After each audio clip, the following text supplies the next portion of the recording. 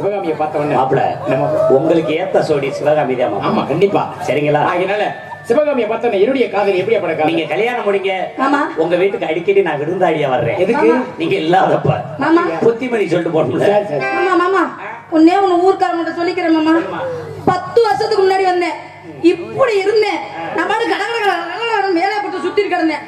ஆனா இப்ப கொஞ்சம் உடம்பு போட்டுச்சு மாமா. நீ சோத்த குறைக்கணுமா குண்டி வேற கொஞ்சம் பெருத்துருச்சா அப்ப குடும்பத்துக்கு அப்புறம் என்ன சரி உன்னை பார்த்த உடனே என்னுடைய காதல் எப்படி பட சொல்லமா?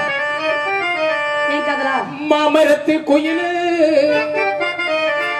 மாமரத்து குயிலே பூ மஞ்சமிடும் மகிழே பார்க்காம போகாதே.